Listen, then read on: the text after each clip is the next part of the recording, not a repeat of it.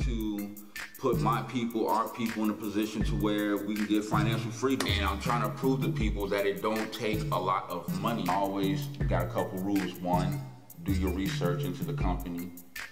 Two, buy low. Three, sell high. I got the kid into investing. I had my first kid at 18. Started a mutual fund from him.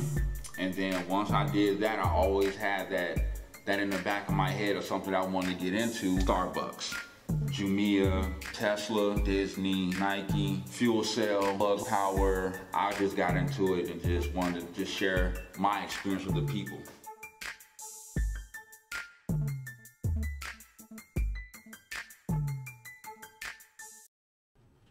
How y'all doing out there? It's your boy, Brother DJ, coming to you live from this wonderful establishment we call the studio. It's frosting and frigid out here on this January 7th evening. I hope everybody's doing well. Everybody's doing safe. Hope everybody's family is prosperous and doing great things out here. Hope everybody brought in the new year, having fun, uh, safely, and uh, things of that nature.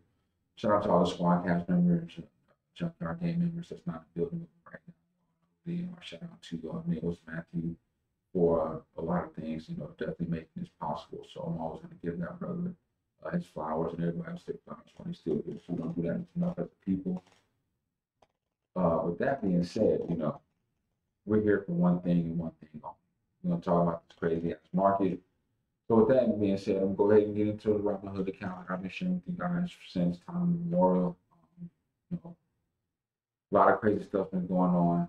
Definitely going to get into it hope everybody's been out here seeing what's going on with the market uh, and a few other things. But with that being said, um, this particular portfolio, um, like I said, I've been sharing with you guys since July, I believe, of 2020.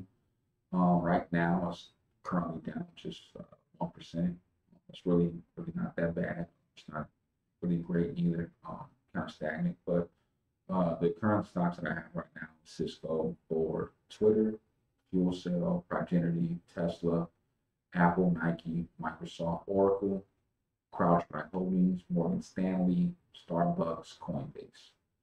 Uh, those are the ones that I have in my stock portfolio right now. Um, let's talk about it. Um, things are pretty hectic. Twitter is definitely taking a beating right now. It's I won't say it's reached an all-time low, but the 52-week low is 38.69. It's currently sitting at 39.72. So if you're looking for a position to get in, you can definitely look at getting in Twitter. It's under 40 bucks.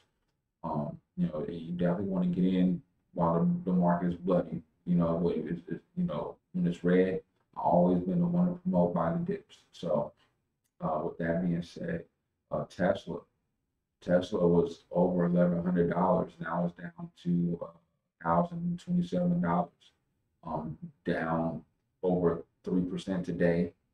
Um, definitely still doing this thing. Um, as far as my position, you know, I'm still up over ninety-four percent in this particular play, uh, with average cost per share of five hundred twenty-seven dollars and eighty-eight cents.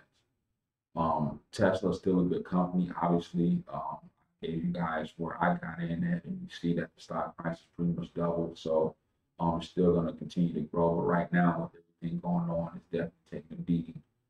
Um, another one that I want to get into was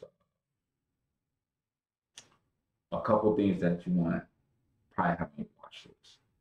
Um, and if I if I talk to you guys about it before, I'm going to keep hammering it home. Right? Um, as much as the market has been down, somehow, some way, Coca-Cola is still thriving somehow, some way. Um, their current stock price right now is uh, sixty dollars and thirty nine cents. Um, it was down today, not even a half a percent. Um, up a little bit in after hours trading. Um, but yeah, it, it's still amazing to me that the last time I talked to you guys about Coca Cola, I think the stock price was maybe like 55, 56 hell, maybe $58, right? And now it's just steadily going up. It's at $60.39. I mean, it had a, a 52 week low of $48.11, and you know, it had a, a 52 week high of 6120. It's at 6039. So eventually it's going to end up eclipsing his 60, um, his 52 week high, which is a great thing. Um, I've talked about coke for a while now. I'm still waiting for it to kind of drop a little bit in order for me to reestablish my position with it because I had coke. Oh, excuse me. I had coke a long time ago, and uh, I just felt that it was underperforming for the time being that I had it, and I sold out of that position to buy into another position. I didn't necessarily take profits and then cash out and send the money to my account. I never really do that. Um, always, if I sell a stock, it's always going to be put into something else. But Coke is definitely doing her thing. So um, shout out to Coke. You know, another one is, is Intel. Um, ticker symbol INTC. Current stock price right now is fifty-three dollars and fifty-five cents. Um, this is another one that's been holding uh, strong and steady um, for a while now. Um, they had a 52 week low of $47.87, a 52 week high of 68.49, and with it being at 53.55, I mean, this is a great, you know, position to be in because it, it's def- it's under fifty five dollars. It's a great company. It has the potential to definitely hit its fifty two week high again. Um, you know, I, I would I would suggest adding some your watch list. Another one I would also add on your watch list is McDonald's. Seriously, McDonald's ticker symbol MCD. Uh, current stock price right now is two hundred sixty seven dollars six cents. Um, you know, McDonald's, you know, it had a 52 week low of $202.73 with a 52 week high of 271.15. So um, it's about four dollars some change, or maybe uh, yeah, about four some change from hitting this 52 week high. Um, they also give you about a two percent dividend yield for holding the stock as well. Um, regardless of what's going on with the pandemic, and you're talking about shortages and things of that nature. Um, the the food and carting industry has de- definitely taken a hit. It, it really has. Um, to where uh, certain restaurants, there or fast food restaurants, have shortages. Uh, not only on just food, but um, employees as well. Um, you know, they they're hiring like crazy, but you know, nobody really wants to work there. But even with that being said, even with all the trials and tribulations, McDonald's is still thriving. They're still making money. They're still profitable, and they're not going nowhere. They're the number one fast food restaurant in the world, not just the United States, the world. You can go damn near anywhere and see a McDonald's. You can go damn near anywhere and see those golden arches. Now the menu might not be the same depending on what country you're in, but the, the, the, the overall McDonald's is still the same. All right. So, you know, that's something that I added on to my um my watch list. And another one that I added on there um, in the financial sector is JP Morgan. Um, JP Morgan Chase, sorry. A ticker symbol JPM. Current stock price right now is $167.25. Um, this this I've been watching them for a while, and they they've been kicking ass. I'm not gonna lie. Um, they they give a, a, a dividend yield of 2.2 percent for holding stock. They had a 52 week low of 127.35, but they had a 52 week high of 172.96, and they're five dollars some change away from approaching that. And I think they're gonna continue to grow and eclipse that. Um, if you know anything about banking, you know that uh, J.P. Morgan, uh, I call him Pierpont Morgan, uh, it's the middle name anyway.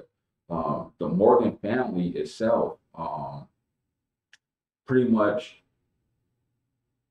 is historically known for banking. Like they've been, I mean, they've been around since time immemorial.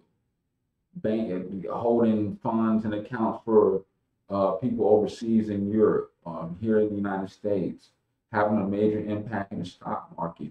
I remember uh, watching a documentary and reading when uh, J.P. Morgan, the son, when he passed away, um, you know, they, they shut down the stock market in, in honor of him. That's how much of a, of a pivotal player he was in, in the industry and much of a powerhouse him his dad was in the Morgan family.